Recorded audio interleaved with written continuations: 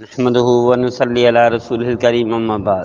اللہ تعالیٰ ارشاد فرماتے ہیں، ومن یتق اللہ یجعل له من امرہ یسرا یعنی اللہ تعالیٰ سے جو ڈرتا ہے، تقوی اختیار کرتا ہے، اللہ تعالیٰ اس کے لیے ہر کام میں آسانی پیدا فرما دیتے ہیں۔ آپ آسانی کا مطلب کیا ہے، اس کو آپ سمجھیے۔ میرے دوست ہیں لاڑی میں۔ وہ میڈیکل اسٹور چلاتے ہیں۔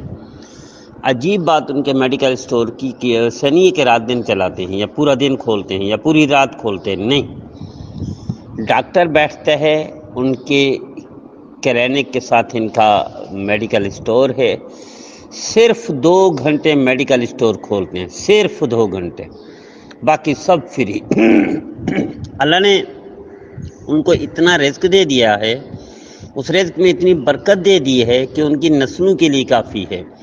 صرف دو گھنٹے میں جو رب ایک بڑی فیملی، بڑے خاندان کو بڑے شاہانہ انداز سے پال سکتا ہے، وہ رب ایک گھنٹے میں بھی پال سکتا ہے، وہ آدھا گھنٹے میں بھی اور بغیر کسی اسباب کے بھی پال سکتا ہے۔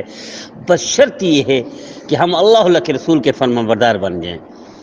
اگر اللہ اللہ کے رسول کی نافرمانی ہو تو بارہ گھنٹے دھوپ پہ، کڑکتی دھوپ پہ آپ کمائیں گے۔ اور چوبیس گھنٹے ڈے اینڈ نائٹ بھی کمائیں گے تو بھی برکت نہیں ہوگی، اگر نافرمانی کریں گے۔ فرما بردار بنیں گے، اللہ تھوڑی میں برکت ڈال دیں گے، نسلیں کھائیں گی۔ نافرمان بن دیں گے، بہت زیادہ کماتے کماتے تھک جائیں گے آپ کی نسلیں بھی تھکتی رہیں گی تو بھی پریشان رہیں گے اور تنگ رہیں گے۔ اس کا ٹوٹل دار و مدار برکت اور نحوست اعمال اور بدعملی، اتباع اور نافرمانی ہے۔ رحمان کا راستہ، یہ شیطان کا راستہ۔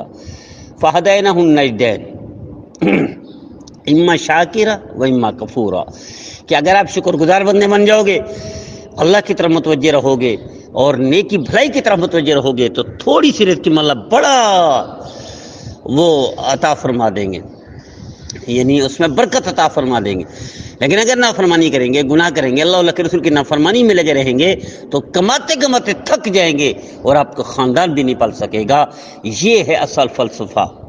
نیکی کریں یا برائی کریں، اسی پر آپ کا دار و مدار ہے زندگی کا، اسی پر آخرت کا۔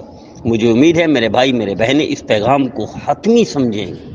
اس کو قول فیصل سمجھ کر حرف آخر کے طور پر اس کو لیں گے آج کے بعد، کہ نیکی کریں گے تو برکتیں ملیں گی، گناہ کریں گے تو نحست اور نحست کا ببال ملے گا۔